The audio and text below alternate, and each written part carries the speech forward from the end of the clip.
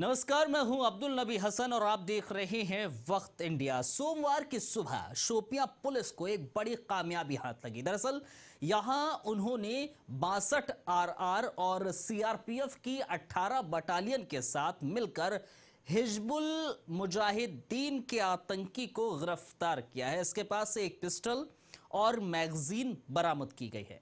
Media से बातचीत करते हुए शोपिया के एसपी इफरोज अहमद ने यह बताया कि उनको खुफिया जान, जानकारी मिली थी और उसके बाद पुलिस और आर्मी के साथ साथ सीआरपीएफ के जवानों ने जैनापोरा में नाका लगाया। और इस दौरान शाहिद अहमद वानी नाम के एक शख्स को क्रेटा गाड़ी से सफ़र करते हुए धर दबोचा। दरअसल, वो चेक पोस्ट पार करने वाला था और चेक पोस्ट पर उसको रोक लिया गया। उसके पास से हथियार बरामद किए गए और जब हथियार उसके पास से मिले तो इस शख्स को गिरफ़्तार किया, कर लिया गया।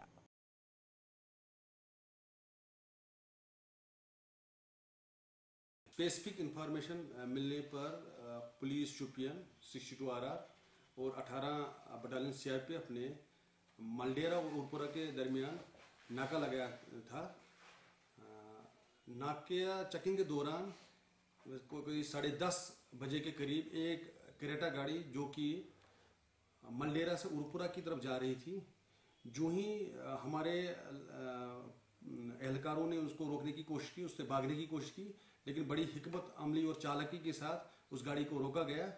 उस गाड़ी में एक शख्स, जिसका नाम शाहिद अहमद वानी सनब गुलाम अहमद वानी, आर ओ कनी गाम शुपियन है जो कि गाड़ी चला रहा था।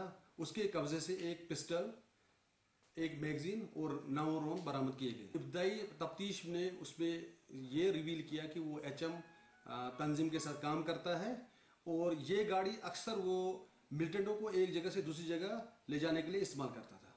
इसके बारे में हमने F I R Jainpura police station में दर्ज किया है और तफ्तीश जारी है। ये शुपियन पुलिस की बहुत ही बड़ी कामयाबी है, क्योंकि अक्सर मिलिटेंट यहाँ गाड़ियों में एक जगह से दूसरी जगह जाते रहते हैं। इससे इस इस कार्रवाई से मिलिटेंटों को बहुत ही झटका लगेगा